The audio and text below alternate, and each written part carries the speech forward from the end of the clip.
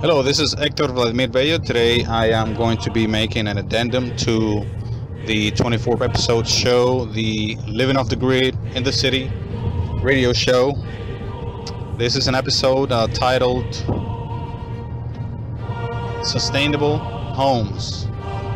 And this is a show that I believe I should have made during the Living Off the Grid series, but is now going to be an addendum it is a show that encompasses all of the, or most of the technologies and the methods and ideas in one small summary, in one packaged show uh, called Sustainable Homes. All of the ideas, technologies, and methods that will be described, briefly described here, will be will have to do with sustainable homes as the title. Okay, just to continue with uh, the show, which is called Self-Sufficient Homes, self-explanatory title there. First, we'll begin with insulation. We'll describe insulation and uh, we'll see what it's for, how can it be used, how can it benefit you to be off the grid, to be completely self-sustained when it comes to building or using a home, a self-sustainable home. And then uh, after I describe all of these technologies, all of these uh, methods, uses, uh, materials, I will go ahead and put it together and describe how a home can be and work self-sustainably, green, completely off the grid. And this is completely possible for most people here in the United States and for a very large amount of people also worldwide. Especially uh, considering considering a lifetime of opportunity, meaning a uh, full adult lifetime. Uh, I dare to say that most people would have the opportunity to, before too late, uh, they would have an opportunity to uh, achieve, achieve this dream if this is what they would like uh, of being completely sustainable. And at the same time, as the gentleman on that video I mentioned said, uh, this is not only for you, this is not only for your benefit, this is for the benefit of, of humankind, mankind, for the benefit of the planet, for the benefit of many, many generations into the future, for the benefit of the environment. You will be, in all effects, be rendering obsolete all of the hazardous and uh, harmful industries that are causing all kinds of havoc when it comes to the uh, environment, conflict, war, abuse. I'm talking about the uh, coal industry, the oil and gas industry, the gold industry, the silver, precious metals industries. You will be rendering, if not all, at least majority of these industries obsolete and repugnant. Uh, gradually, although eventually. So we'll begin with insulation. Insulation again is uh, the material, the space, the barrier you put in between you or your environment and a an unwanted environment. For example, a hot environment, cold environment, dry, too wet, whatever it may be. An insulating barrier or an insulation is basically just that barrier, just that uh, separation between you and that environment that you're trying to avoid trying to uh, at least make a little better, make, make it a little more comfortable. For example, a wall from an average home here in the southeast U.S.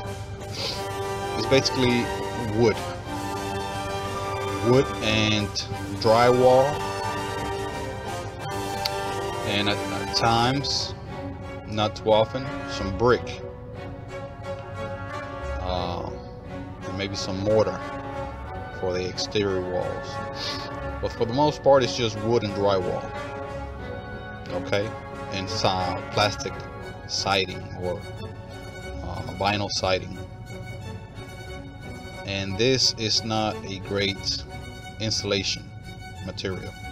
Uh, excuse me, there's also one more there, which is the actual uh, either fiberglass or sort of other fabric, fibrous fabric or material for insulation that is usually uh, put in the exterior walls. And if you've been in the average home here in the United States, you've seen how they're constructed, you've seen how they're built. They're put up in a week, you know, using a small crew. And uh, that tells me that they're not very durable for one, and not, they don't use top methods, quality, long-lasting methods and techniques and materials. And uh, they're made very cheaply and very rapidly. And again, not using uh, the best suited materials for each job, for each uh, section of the house. For example, the exterior walls I just described, what uh, materials are usually used for insulation they are not that effective. They do provide some sort of insulation but they do require a lot of uh, energy intensive energy large amounts of energy to keep the home comfortable. Because begin with they don't use these materials and methods and you know uh, more insulation better insulating, insulating materials because they got in their minds already to begin with. They are uh, assuming that you will be hooking onto the grid and using tons of energy to cool, keep the uh, home cool, keep it warm in the sun, in the winter, cool in the summer. They're just assuming that you will be having your air conditioner on 24/7 during the summer and your heating on 24/7 during the winter. So they're not going to spend the extra funds it would take the extra effort the extra materials and the uh, better methods it would take for you to for the home to have better installation thus better energy efficiency that's not their main concern when they're building the home is uh, their main concern is just cost savings. So they can maximize their profits. And that is a very real a very real flaw not only with the monetary system but also with the way homes are built with the culture around it and with the interests and pressure and influence of the power companies that um, basically drive some of the some of the uh, growth in the uh, new home construction. And uh, also the people's uh, mindsets. They control very much people's opinions when it comes to energy.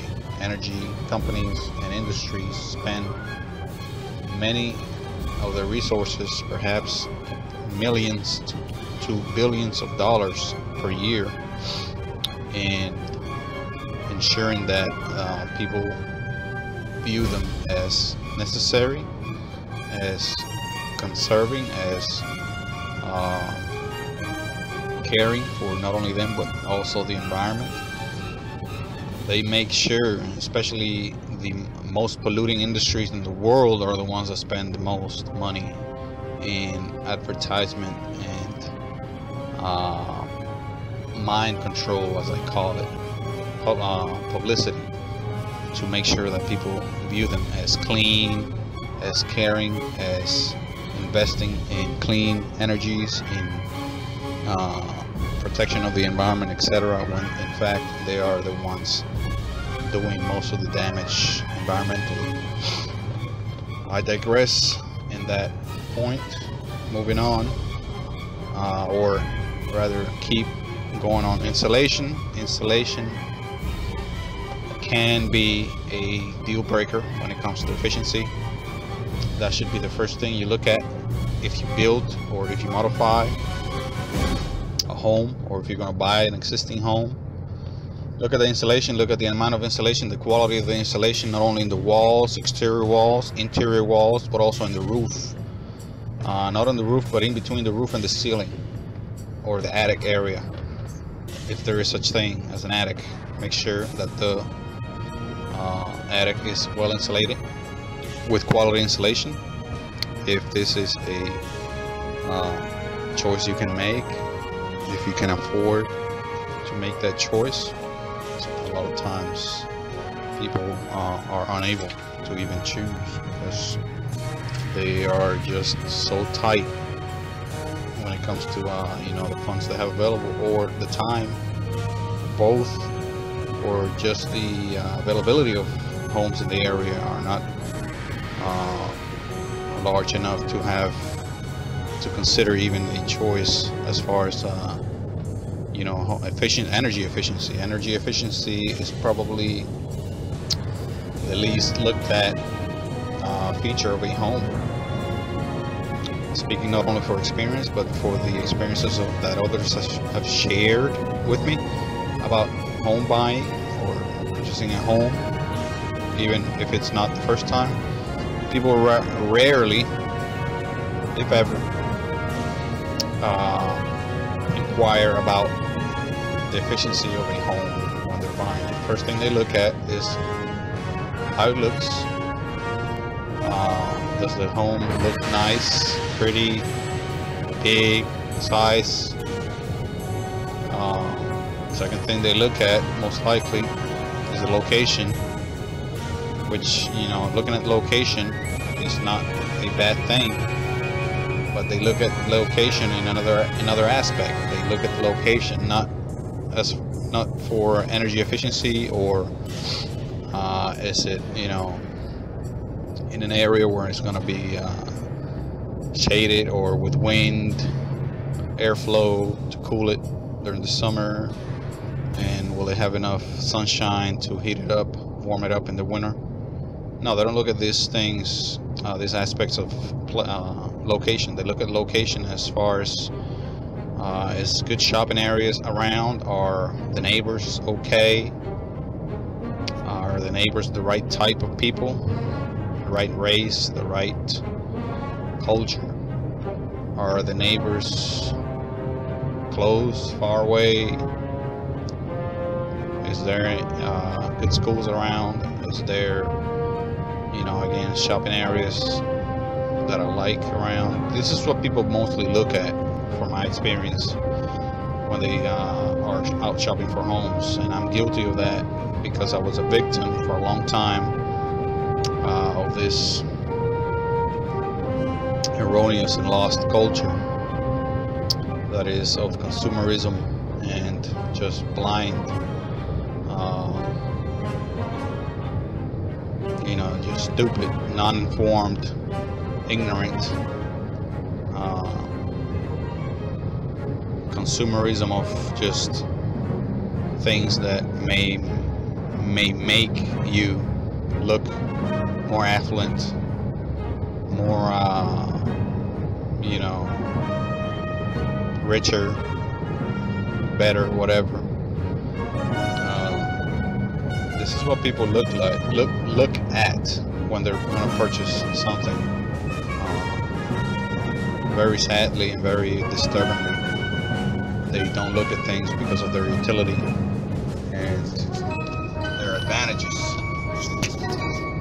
because of their looks, which is again disturbing and uh, very uh, depressing time, many times. So installation, make sure installation is something that you consider. Not only when you build, if you build, but when you buy and you can it's also you can look at the place that you're living in right now uh, if you're planning to make any kind of uh, improvements any kind of modifications additions whatever. Installation is definitely something you want to uh, consider. Again, because it's going to save you tons of energy in the in the long run, especially, and uh, will help you get off the grid if that that is your goal. It could it could at the very least help you save energy.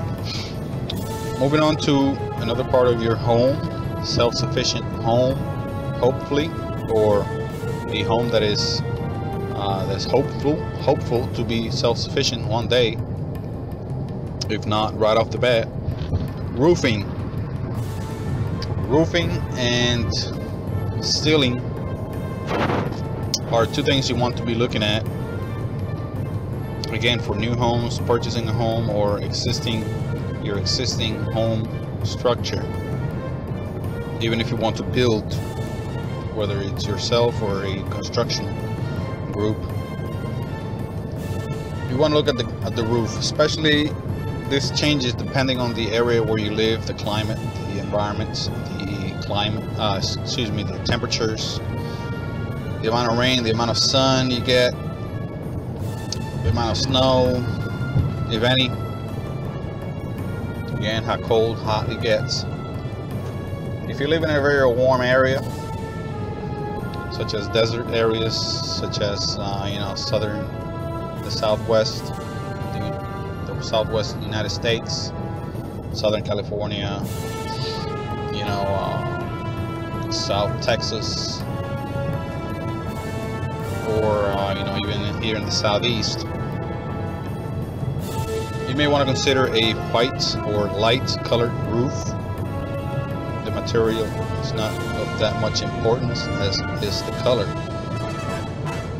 Actually, I'll take that back. Material does matter. Color matters quite a bit, perhaps a little more than uh, material. The, the color will, and you know, we're assuming this is a durable color, preferably uh, something that is infused into the material via you know treatment paint high quality uh, coats or whatever. You want like shingles for example. Lighter shingles. They uh, put sand or some sort of uh, lights colored uh, material granules on it to make it white to make uh, the color white reflects most of the light radiation away from it. Bounces out and only a very minute amount of radiation filters through meaning that it heats up a lot less than black or dark colored roofing. For example shingles you've ever worked on a on a roof dark roof in the summertime, as I've done, you will notice how hot it can get up there. I'm talking hot enough to melt your shoe soles like happened to me. Uh, and this is here in the southeast where it's not extremely hot like it is uh, in some of the southern, southwest, southern mid, midwest parts of the United States, let alone in other parts of the world like North Mexico, you know, Middle East, Arabian Peninsula, uh, North or, or Saharan Africa. I mean, these places, desert desert areas, could get so hot that uh, all that should be taken into consideration The color of the roof. Uh, again, you want it to be light if it's a hot area where you want the heat to stay out of your home, of your of your attic, and you want it dark in a cold, uh, cold place like Canada and the northern uh, uh, the northern hemisphere countries, excuse me, the northern uh, trop uh, latitudes, such as you know the ones where Canada Europe and uh, Russia are, and also the south, the far south uh, latitudes. Want darker colored roofs in those areas, of course, to uh, absorb as much radiation and thus heat as possible because you want that heat uh, the, the very small amount of heat that makes it to those areas. You want to retain those for your home. Uh, insulation is not as necessary when you have these types of roofs that attract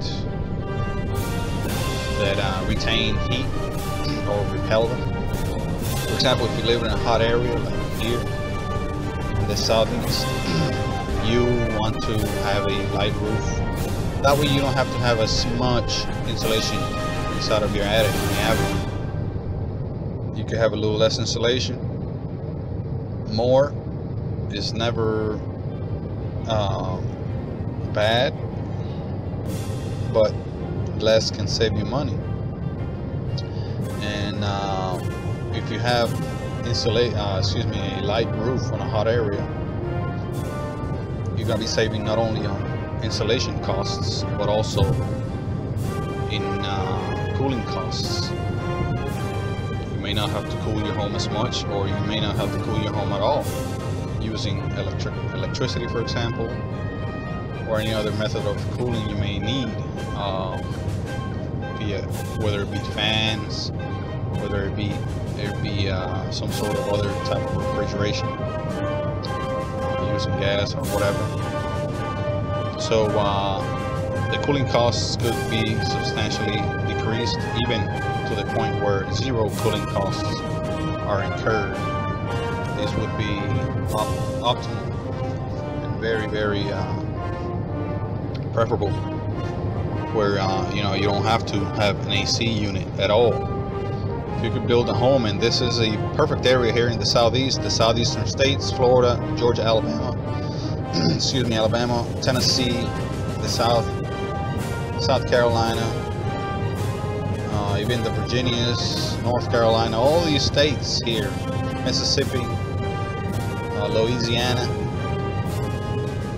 even Oklahoma Texas I mean West Texas uh, East Texas all of these states here in the southeast are in an area where you barely need any sort of heating and cooling if you build your home uh, with sustainability and, and, energy efficiency in mind and cooling and shading and all of, all of these things that you can do to have your home as, a, as energy efficient as possible.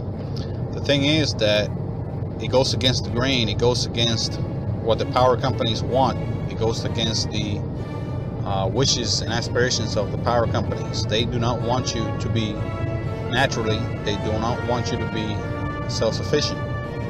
They're out of a job, they're out of an income, they're out of a profit if this would, were to happen.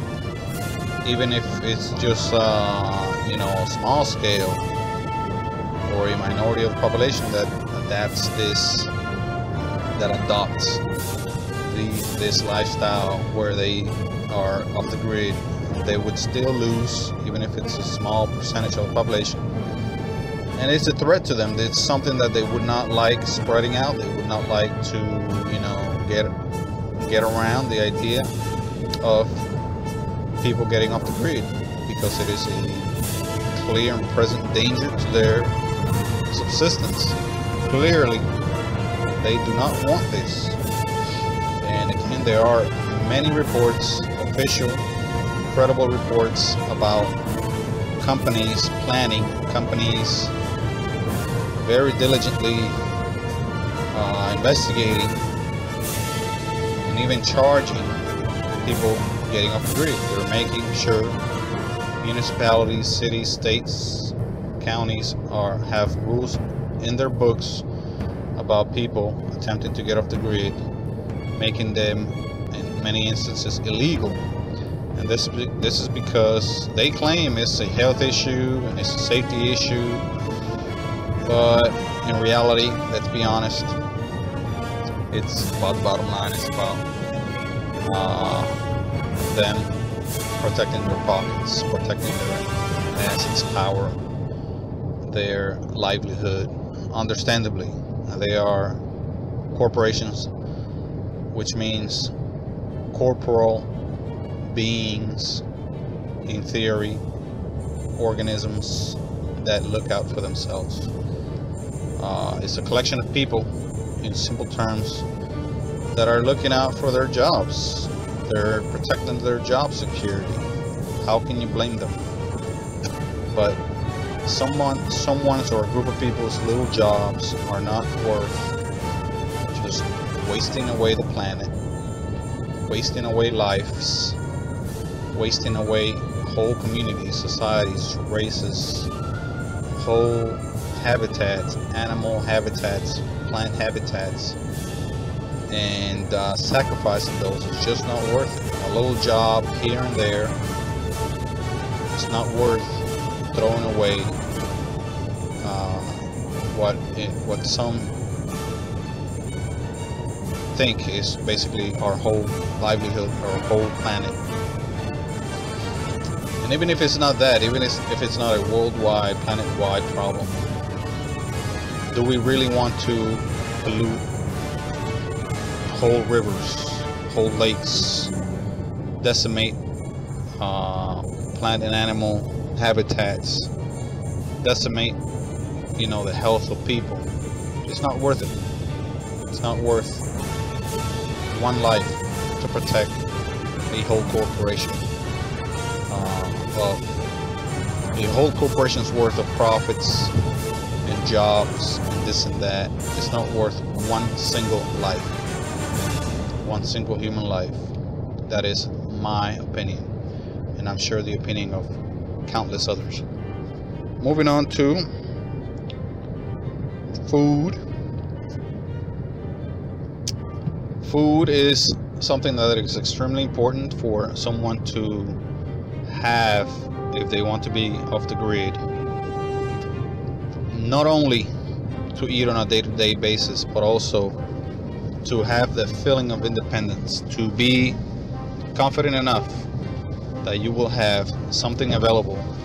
Whatever whatever may happen with the economy whatever may happen naturally with the environment any sort of emergency situation uh, catastrophe natural disaster you will sleep better at night will be a more confident and secure person. And proud also that you have food available that you know you will have food available uh, even in the worst of, or the worst of circumstances.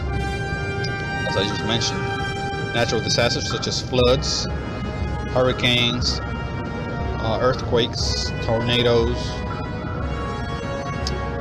Not only those but also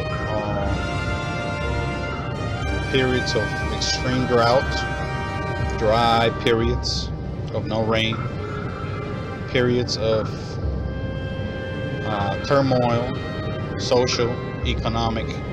There are so many ways that catastrophes and disasters could occur.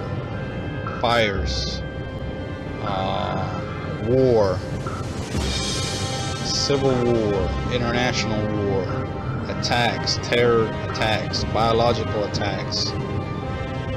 It doesn't have to be, you know, Armageddon. It doesn't have to be the end of days. It doesn't have to be something so unlikely like, uh, you know, another 9-11 attack or anything like that. I mean, it could be just a simple flash flood that affects your neighborhood directly takes away a couple of homes in your in your city, your neighborhood, and floods a the uh, the only bridge into your town. As something as simple as that, that is very likely in many areas, could cut you off, cut your city, your town, your community off from society, from supplies, effectively for weeks on end. It has happened. It will happen. It is only a matter of time. It depends on the place, of course, on the likelihood. But even on the unlikely places, some things that nobody thought would happen have happened. And even several times in a lifetime. So don't think for a second that you're completely safe from all sorts of disasters. If not natural, man-made crises could occur any any day now, regardless of how uh, stable and how peaceful it may be right at this moment. Tomorrow it may be chaos beyond belief. And you want to be ready. You want to have food first and foremost. Uh, of course, after after water, but we'll cover food first. Food production, it is something that is quite a skill to man uh, that needs to be mastered before crises strikes. Food production is not terribly difficult, but it does require practice and information. Just uh, attempt to grow fruit, attempt to grow vegetables on your own, and you will find out this very fact indeed very quickly.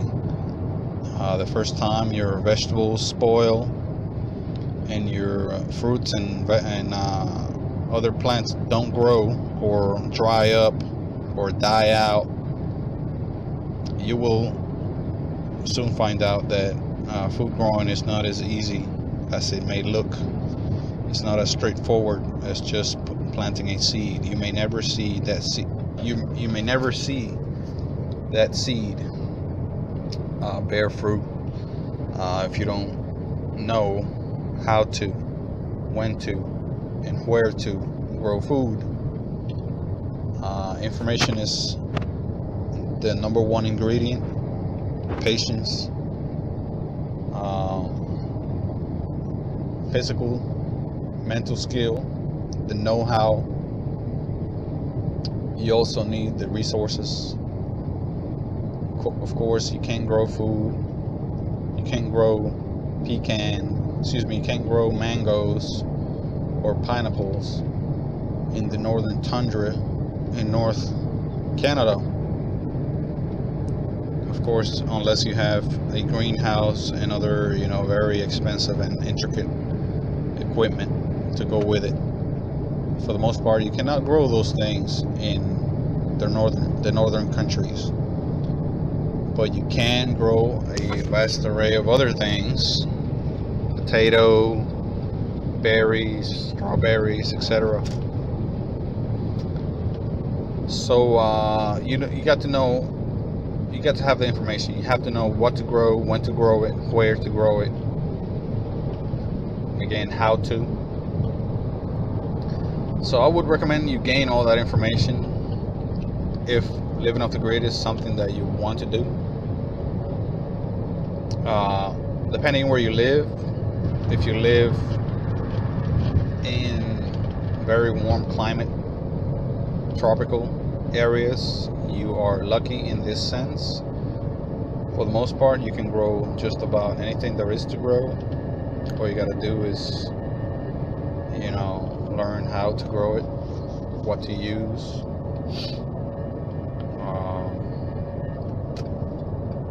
And even in these areas it, it does take skill to grow food in any kind of um, you know re repetitive and uh, successful way. You still need, need to have information and skill to grow food. It is a lot easier than in you know other countries where it's cooler less energy less sun less sun but it is however difficult and you need to be prepared.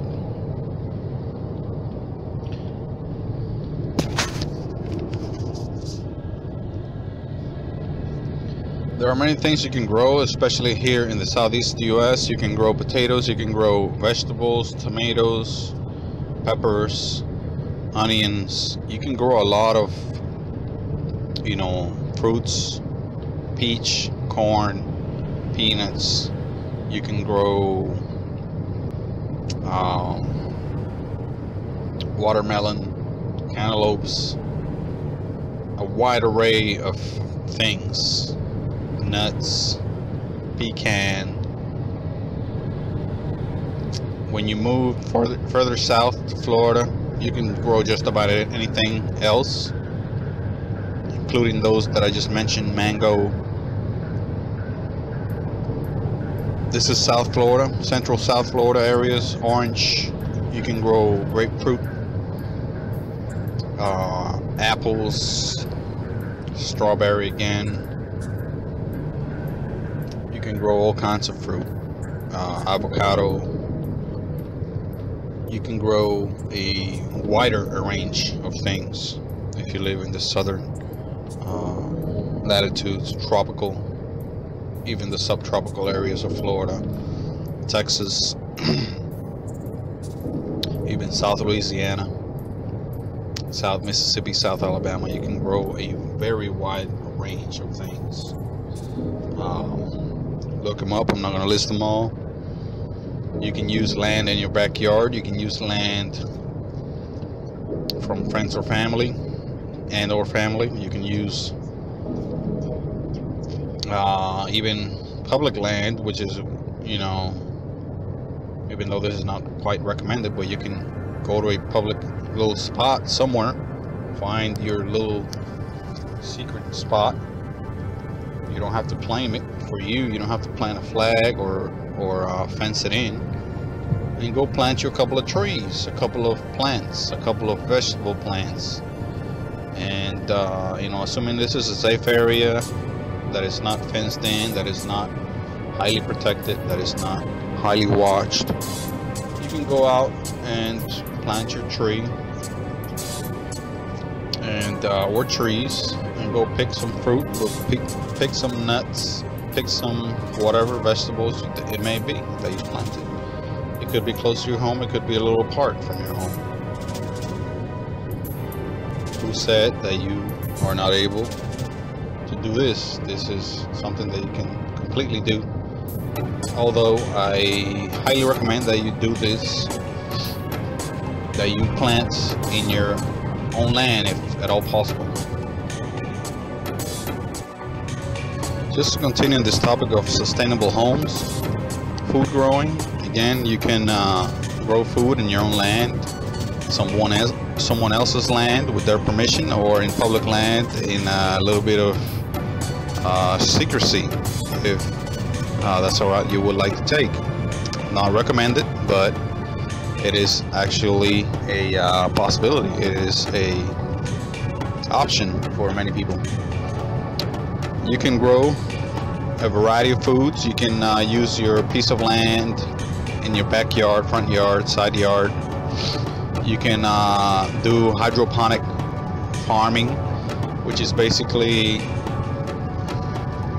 uh, growing food indoors in a uh, greenhouse for the most part, most uh, commonly and you can uh, grow in uh, not necessarily in dirt but you can uh, grow in water you can grow in it other mediums such as cotton. You can grow uh, vegetables for example in uh, sand or any kind of other synthetic medium.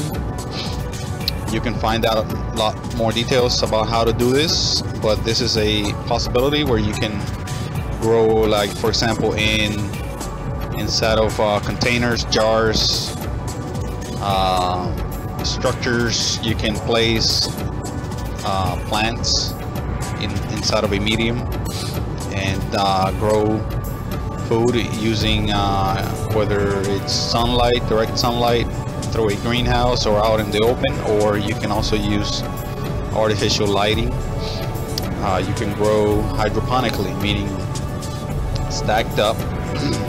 It doesn't have to be really stacked up. It could be single layer but uh, it's mainly in an indoor environment controlled environment where the uh, climates temperature, uh, lighting, heat, all that is controlled. But uh, for the most part, it's easier if you live in a area where this is a possibility. It's easier outside. It is much more natural and uh, it does take a lot less skill and knowledge to do. You can build your greenhouse, especially if you live in a cooler climate. Build a greenhouse with wood and uh, uh, plexiglass or flexible, you know, crystalline panels. They could be also glass panels, panes. Build your own uh, greenhouse. It doesn't have to be anything big or anything you have to go be able to go into standing up. It could be something small. It could be something you can open up lids. Something you can open up the top part and uh, you know tend your plants that way, water them, whatever, and close them back up. Uh, it doesn't have to be large. It could be small. It could be like one pane up top. It could be several. You know, it doesn't have to be airtight so uh, look at online how to build your greenhouse and uh, they have several many different models you can choose from and you know different sizes and uh, different uh, for different budgets different skill level look that up I recommend it especially if you live in a cooler place uh, it is highly useful to be able to grow year-round or you know even in the cooler months. Uh, privacy for self-sustainable homes is takes a new level of uh, meaning. It takes a new level of priority, to my opinion, estimation, because especially if you live in a city limit, county limit, where you have neighbors, where you have officials potentially officials go by checking on you, law enforcement. I'm not uh, by any means, in any sense of the word, encouraging any illegal behavior or illegal practices, living off the grid, as I have mentioned in a previous show, calls attention calls attention of people that may not be your friends, may not like you, may not want you to be doing what you're doing, may not, may feel threatened. They may feel uncomfortable at the at the very least. May feel uh, that you're doing something that may affect them in one way or another. However unfair this feeling may be, it's a reality. Um, neighbors will be curious they will be uh, asking questions at many instances and if you're not the friendliest of people if you don't talk to your neighbors regularly they may grow suspicious and even report you even lie about what you're doing. They may they may make up their own mind about what you're doing. They may find an explanation and make up their own stories about what you're doing. And you may be reported. You may be brought up to the uh, attention of the authorities, the city council, the city uh, municipality uh, authorities and personnel, who may also not be accepting to what you're doing. Even if it's completely legal, you may want to provide some privacy for your off-the-grid home. You may want to plant trees, hedges, um, brushes, shrubs, anything that could create a little bit of uh, barrier between you and pesky neighbors, pesky city officials, or uh, community uh, leaders or law enforcement. Because they're people too, they make their own prejudgments, they prejudge you, they may feel, make, uh, again, they make think that you're weird or uh, you know somehow trying to do something illegal when you're you may not be so you may want to protect yourself to avoid all this uh, harassment to avoid any kind of you know inconvenience to you and your loved ones if any. You can do the next best thing from uh, planting trees all around you. Again providing that barrier for privacy. You can do fencing whether it's chain link or metal uh, excuse me uh, wood fencing. You can uh, go a little fancier and do brick even concrete cinder blocks if you're able. Remember that many areas many uh, municipalities require some sort of per permit for you to uh, do any kind of structure build any kind of structure? Especially when it's going to be uh, as permanent as brick or concrete and reinforced concrete steel metal. You may want to check with your municipalities and uh, make sure that you comply with uh, whatever permitting may be required for building those. But uh, privacy fences and privacy perimeters are very useful for those that are completely off the grid. Again because uh, this is also depending on the area you live. You may be well very very welcome to uh, live off the grid. You may live in a off the grid community where you need no privacy. Uh, but if you live in a average community where everyone around you will be hooked to the grid, you may not want to publicly uh, advertise your uh, your goals, your methods, your structures. They may be weird. They may be, again, threatening and unsightly to others that may not think like you. So why uh, inconvenience yourself and bring yourself uh, even risk by shouting out to the world what you're doing. You may want to consider protecting yourself. Make sure that the area where you live allows such practice legally. There are plenty of areas where living off the grid is, is illegal. I believe Florida and other states have ruled against it. Uh, excuse me, have ruled it illegal to be off the grid. Sadly and disturbingly enough, um, I'm not sure to what extent this is the case, but there are um, several credible reports that uh, this is the case that uh, you know many states, cities, municipalities don't allow you to get off the grid. Uh, their grounds for it are, for the most part, um, safety concerns, health concerns, etc. And uh, there is very likely a um, interest economic interest concern there hidden as well. But if of course it's not as advertised or if it's not at all advertised um, for the public. Interests are of course very likely involved such as power companies gas and oil electric power companies conventional of the conventional type.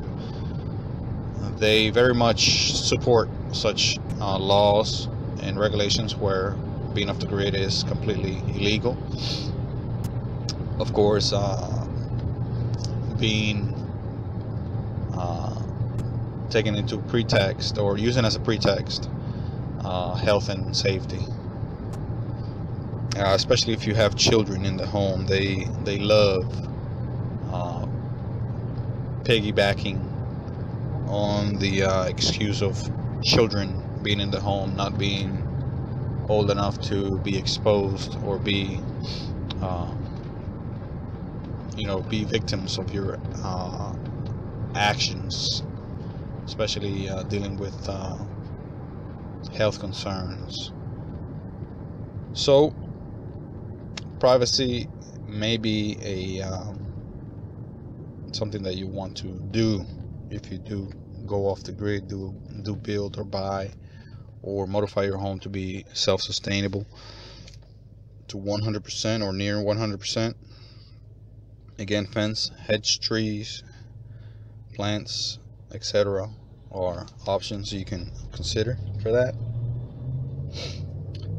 Another area I want to cover today, I'm going to be wrapping it up here soon or speeding it up to cover the rest of the things I want to cover. Water collection. Water collection is of utmost importance when you plan to be off the grid for obvious reasons. You can go without food for a week, perhaps, or you cannot go without water for more than a day or two. I'm not going to discuss air, oxygen, which you cannot go without for more than maybe a few few minutes uh, because obviously air is free at the least at the very least at the moment. And uh, very likely for the for the far future. Water however is not free for the most for most individuals. Potable drinkable drinkable water it's not free. You have to get it delivered to your home, whether it's by pipes, truck, water service as far as bottled water, a combination of the three or two. Uh, but you still have to pay for it. The minute you don't, your water is disconnected, it's cut off. Whether it's again city water through pipes or delivery the minute you don't pay for it, it will be cut off. You don't want to be in that situation, especially for the ones I mentioned, where uh, emergencies, crises, catastrophes, natural disasters may take place. Uh, very likely, water will be one of the first things that will be affected. Your water supply, whether it's through drought, lack of lack thereof water, whether the water becomes contaminated, or even uh, when there is too much water, again being contaminated, like flooding, which may uh, interrupt your usable, drinkable, potable water. You want to have secure, safe, clean water available in case of any of these uh, circumstances that may arise, which again are not uh, remote are not that hard for them to for them to arise. Think about it. When was the last time, for those of you living here in, in these southern states, even in the continental United States, when was the last time a, a catastrophe occurred in your state? In your state, consider your whole state, not even the whole country. When was the last time a catastrophe occurred? Natural disaster uh, you know, crises, natural crises, or even a man-made crisis. When was it? When was the last time that it occurred? It may not be that far. It may be within recent memory. It may be just a few clicks away, searching of, of your favorite search engine within the past decade or so. So it is not that remote. It doesn't take that many unlikely circumstances for a disaster to occur. So keep that in mind, please. Again, water could be collected several ways. Rainwater could be collected using several methods. Look them, look them up. Uh, water catching systems are abound on the on the internet for both for sale and for construction. You can use your roof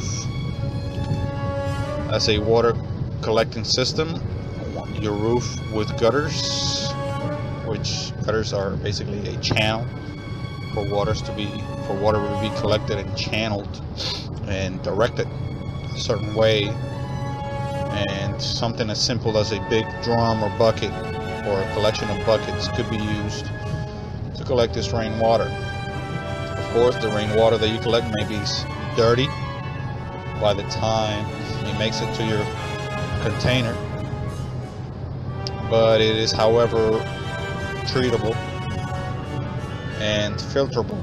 You can filter rainwater very relatively easy and drink it. If you collect rainwater in a, for example, a uh, pool, above ground pool, if you have one of those or if you get one of those, doesn't have to be big, it could be one of those inflatable pools.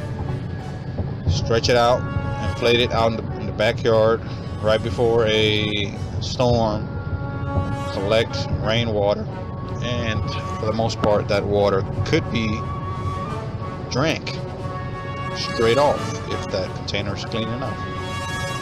Uh, yes, I know a lot of cities have air pollution where they uh, recommend you not drink the rainwater because it may have collected on its way down a lot of polluted particles. And uh, you may not want to drink that water right off. But in many instances it may be safe even then even in in polluted cities polluted areas. It may be safe enough for you to uh, use at the very least during a emergency situation nobody will tell me that rainwater rainwater that may have collected a few particles from the air a very small percentage of that water will have uh, you know reasonably those particles. You'll not you're not going to tell me that water traveling down miles and miles downstream from pipes and tanks that have been sitting there for ages. You're not going to tell me that that water is going to be a lot more uh, safe to drink and consumed. And not to mention the chemicals that water has been treated with. You're not going to tell me that water is going to be safer to drink than rainwater collected in a clean container directly from the rain rainwater is among the cleanest water available. You can encounter naturally. And uh, my opinion is that rainwater is among the cleanest safest water to clean. Again many ways to collect rainwater. Many technologies many methods. Look them up. I'm not going to detail them I just did uh, tell, give you a few broad ideas about how to collect rainwater but there are many methods many models of technologies you can build using simple uh, readily available items materials and um, things such as wood lumber cloth you know uh, large plastic or rubber materials such as uh, materials that you can uh, get from uh, inflatable toys inflatable tools excuse me inflatable pools. You can have uh, a bunch of buckets. Let's say those you know five gallon buckets that you can buy at the store at the hardware or Walmart Target any of those stores you can buy uh, buckets for less than five bucks a piece. Let's say you want to invest a hundred dollars. That's uh, five bucks a piece. That's 20 buckets you can buy uh, for about five bucks a piece or 100, 100 bucks. So uh, 20 buckets laid out in the yard rains. You can collect at least in a good storm, long-lasting storm. You can collect at least half half a bucket or two and a half gallons per bucket. and start with that. That is a good amount of water that could last you about a week if you ration it right during an emergency. And do that a couple of times, I mean, you could have hundreds of gallons of water within a you know a few few month period, a couple of month, two or three month period. Period. If you get if you live in an area like here in the southeast that rains regularly throughout the summer and spring, and sometimes all throughout winter, and uh, that's something to consider. You know, you could come up with your own way to collect to collect rainwater. Unfortunately, some areas, some counties, cities consider rainwater as their own resource or as their private resource. As ridiculous as it sounds, and as stupid and backward, primitive as it may be, to claim that rainwater is yours, I don't care how big how powerful you think you may be, you had nothing to do with the creation, with uh, that process with you know the invention or the bringing about of that process. That rainwater falls from the sky from the clouds having you having nothing to do with it. I don't care what king or uh, you know kingdom you may be part of if it falls on me on my person on my private property i'm going to collect it i don't care what you say as a city as a state, as a king, as a president, as a government. And I am saying this out loud in this radio show. Please come get me. I am catching rainwater. And I don't care what you do, I will always catch rainwater. I don't care what you put in the books. Don't care what regulation you come up with justifying that uh, rainwater is your resource. Uh, tough luck.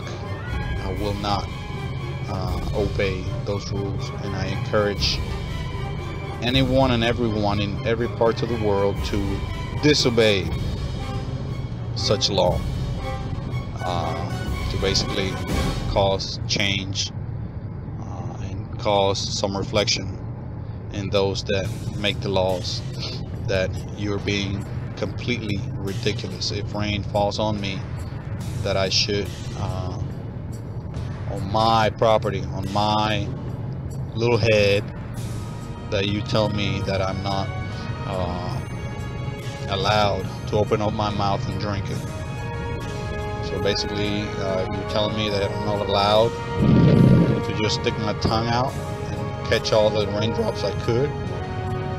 You have got to be kidding me if you actually believe that anyone, uh, especially me, will abide by such law. Moving on.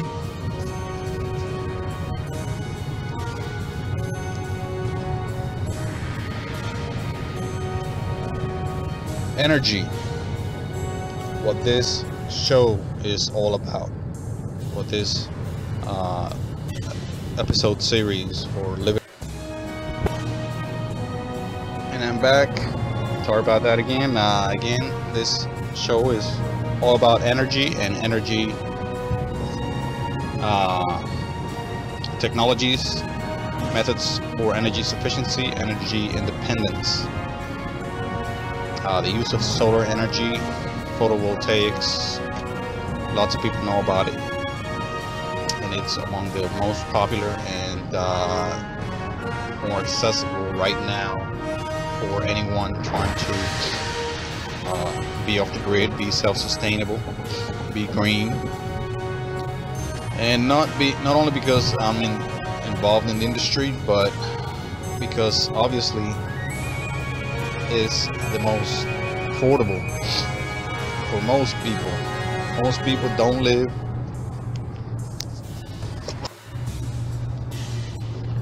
excuse me most people don't live in, in uh, very high wind areas so wind energy is not accessible for most people. Not only because of the resource is not as prevalent and abundant as the sun, but also because the technology is so much more expensive and hard and more challenging to set up make work. Uh, so I won't waste much time discussing wind. Wind is an option for many people, many areas. If you are in such areas, look look for it, look look it up, find out about it. Uh, if you live in the you know the plains of the United States and the Midwest, know the northern state, northern states such as Canada, the, the Canada bordering states of the United States, the Northwest, where sun is not as abundant as it is here in the south, southeast, southwest. It, it may be a better option for those areas.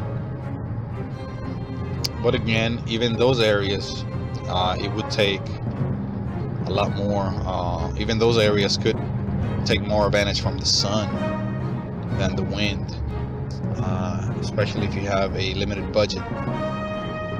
Photovoltaics could be placed on your roof, could be placed on your yard, could be placed on your boat, on your RV, on your truck, on your trailer. It could be placed on a temporary structure. It could be just laid out on the floor, on the ground, on your yard, taken back out. It's very flexible as far as its uses. And also physically uh, they have flexible panels now where you can just carry them out. They don't have a hard heavy frame. You can just carry them out lay them out connect them up charge your system and roll them back up at the end of the day stick them back in the house or, or whatever uh, dwelling you may be storing it in whether it's your RV trailer. So uh, photovoltaics are a very attractive option for many many people perhaps most areas here in the United States. So look it up check it out consider it get it if you want to get off the grid. That is your prime way principal way to get off the grid uh, remain within budget this show is primarily for those with a limited budget. If you have an unlimited budget, uh, you may not be listening to me right now. You may be already off the grid. If that is what you, what you wish, this show is mainly for those looking for ideas, looking for uh, some support, looking for some uh, inspiration to get off the grid if you have unlimited resources, which I know of no one that has unlimited resources or funds, then you are on a whole other level. Uh, certainly a level way outside of the uh, target of this radio show. You can also use wood to provide for energy for your home when I say energy, I don't just talk about electrical energy, such as photovoltaics. You can use wood um, to heat up your home, to cook, to provide light, etc. You can use coal for about the same stuff, same things. Heat, light, cooking and paper and charcoal as well. You can go with geothermal again. I mentioned this briefly in an earlier show. Geothermal is expensive. Geothermal takes a lot of uh, resources, funds, time, skill, planning to do. It's not available in in all areas. You may live in an area where you may have water just a couple of feet below you you may have bedrock just a couple of meters below you. Or you may not have the funds to do it. There, there may not be you need to live in an area where there's considerable warmth underneath you, you may live in a very cold place where this may not be an option. If it is an option, you should, and I encourage you to find out about it, look it up, consider it, get it done if you um, are able to do it. That is one way to heat up your home, cool your home, maintain a very comfortable temperature in your home year round. And it is not as difficult and as expensive and as and as uh, painful as it as many make it sound, and as you may think it is. So investigate. You can also look into construction of your own home. I touched upon this earlier, but I'm going to go a little deeper. Constructing your own home may be a daunting undertaking. Maybe damn near impossible for, for many of us. Need resources, money, uh, especially in the monetary system of the United States. You need time that you may not have. You may have a full-time job that's demanding You need space, you need land, you need rights. A lot of people don't have rights, sadly enough. A lot of people are here illegally. A lot of people are uh, oppressed. A lot of people are second, uh, what may seem or feel like second class citizens, where they are uh, denied a lot of perks and advantages and rights that many other people are automatically given. Uh, again, sadly enough, a lot of this is based on background, race, uh, creed, color, upbringing, pedigree, you name it. Disturbingly enough, this is many times the case. But if you're able to construct your own home by some way, by any way, and many of us are, then by all means, if that's what you want to do and you're able to do it, please do it. By all means, you can construct your own home and make it completely off the grid, self-sustainable, green, right off the bat. That is probably the best way to do it, to build it from scratch modifying an, an existing home is very costly, very challenging at times, and sometimes it's impossible depending on where you live, what the construction of your home is. May live in a very old home.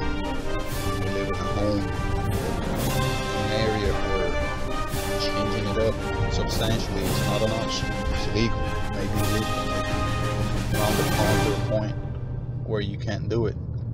And uh, building from scratch is very, very attractive as far as uh, cost is concerned, as far as your options. You basically starting from a clean canvas where you can do and build to suit. You can build to your liking and not uh, only to your liking but also to the best design uh, one available for your area and two possible for your area and three uh, you can choose a design that is uh, as efficient as possible for that area for that environment. You could choose to build a dome, very one of the strongest, perhaps the strongest shapes for a uh, you know dwelling structure, or you can build, as I mentioned before, a home made with renew, uh, recycled materials such as tires, beer soda can or soda cans, even uh, you know bottles, there are many, many options out there. Look them up. You can build using uh, trailer uh, trailer containers. Those, you know, big rig containers that a lot of times go uh, spoiled or they break or they become unusable for some reason. They're disposed of a lot of times by big trucking companies or shipping companies and uh, you may be able to get your hands on one of them. You know, you do your homework, do your searching opportunity, may be able to get a hold of them. They're made of very durable uh, metals, including steel, aluminum, and uh, you know other metals.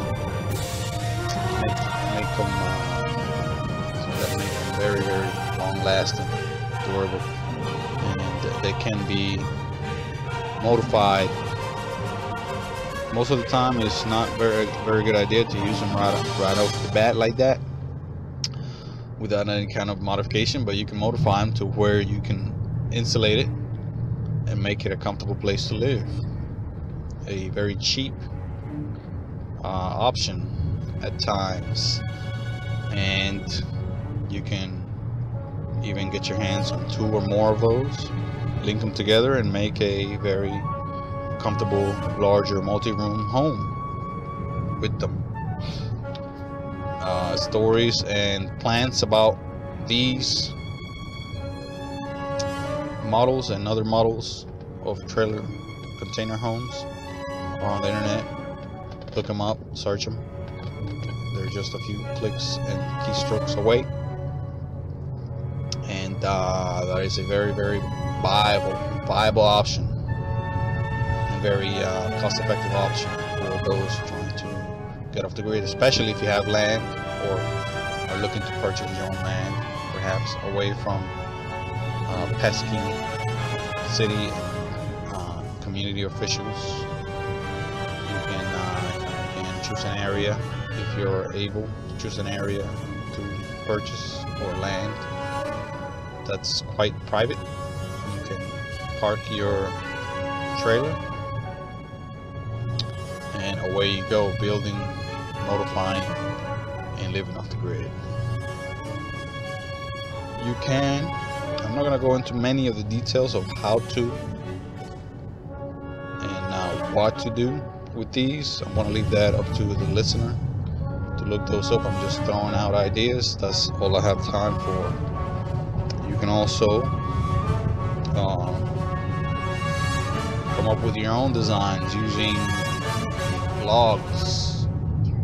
You can use uh, you know mounds and believe it or not you can use caves to live off the grid. You need not live on uh, above ground. You could, you could live very well underground especially in hills mountains. Of course given that you are able to do these things and it's legal and it's uh, feasible for you and it's uh, it's not life-threatening or you know unsafe to do. And uh, also consider other people, consider your family, consider your friends, and how that's going to impact those people. It may not be an option are married with a family. It may not be an option if you have close family members that need your attention or if you have a job in a certain area that you cannot afford to leave, it may not be an option for you to go to the mountains and live in a cave. It, not, it may not be an option for you to dig a hole in your grandparents' home or your parents' home in their backyard and live in a hole. It may not be safe to live in a hole It may be in a low-lying area where it floods.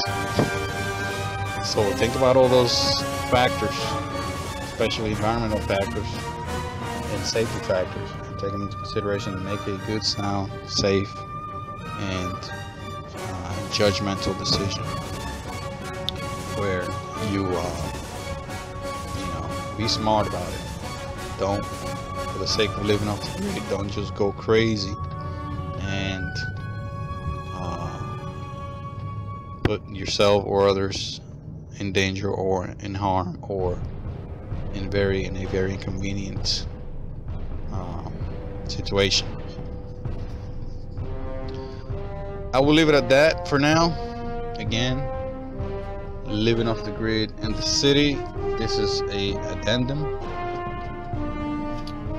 for the show, and I hope you enjoyed it and that it brought some information to the repertoire of information you may already have from the rest of the shows, and I hope uh, to attract your attention for other videos and other uh, audio recordings. Me, Hector Vladimir Bello. I uh, thank you for listening and or watching. Have a good day.